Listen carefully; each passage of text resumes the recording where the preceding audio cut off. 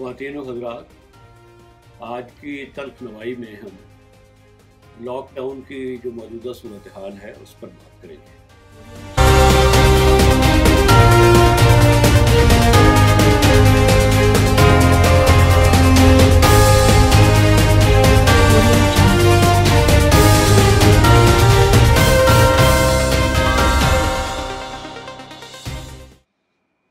ये तो ठीक है कि हुकूमत की कोई पॉलिसी इस मामले में फ़िक्स नहीं है। हमारी एक ट्रेजडी ये भी है कि हुकूमत की अपनी मजबूरियाँ हैं और गालबा इन मजबूरियों की वजह से शुरू से ही, अव्वल दिन ही से हुकूमत ने कोई बोल्ड और वाज पॉलिसी नहीं इख्तियार की थी। वो शुरू से ही गोमगो का शिकार है।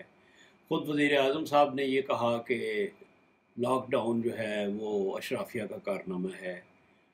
ये बात वैसे नहीं समझ में आने वाली क्योंकि लॉकडाउन तो हुकूमत ने किया था अशराफिया कहाँ से आ गई? बाहर तौर जो बात हम कहना चाहते हैं वो ये कि ये बुनियादी तौर पर हमारा, आपका और आवाम का अपना फरीदा है। देखिए, अगर एक शख्स एहतियात कर रहा है या आप में से कुछ लोग एहतियात कर रहे हैं इस तरह के वो अपने घर के अंदर हैं। घर से बाहर नहीं निकल रहे। नमाज़ घर में पढ़ते हैं, सैनिटाइज़र का इस्तेमाल करते हैं। बाहर अगर उन्हें मजबूरन जाना पड़े तो समाजी फासले को, सोशल डिस्टेंसिंग को मरहूज ख़ातिर रखते हैं। तो ये उनकी अपनी सवाबदीद पर है। हकूमत जो है, वो एक ख़ास हद तक कंट्रोल कर सकती है। जैसे दुकानें बज़ोर बंद करवा सकती है या क्लब्स या पार्क बजोर बंद करवा सकती है। लेकिन वो पाकिस्तान के 22 करोड़ आवाम में से हर शख्स को ये मजबूर नहीं कर सकती कि वो हाथ किसी से न मिलाए या सोशल डिस्टेंसिंग रखे या ख़ुद ऐसी जगहों पर न जाए जहाँ पर हजूम हो।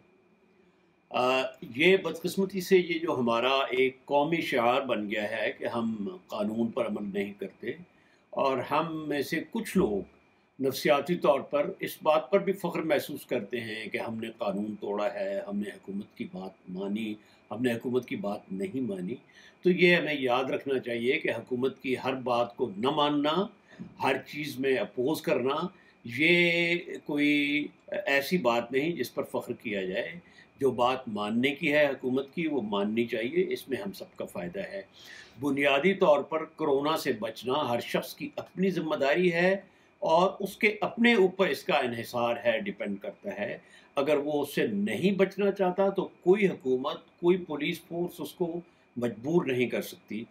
ये आ, हर शख्स अपने जान को बचाने के लिए आ, जितनी भी एहतियाती तदाबीर हैं उन पर अमल करे और हमें ये भी नहीं लाजिम कि हम हर बात पर हुकूमत को मतून करें हुकूमत की सारी कमज़ोरियों के बावजूद। बहुत शुक्रिया।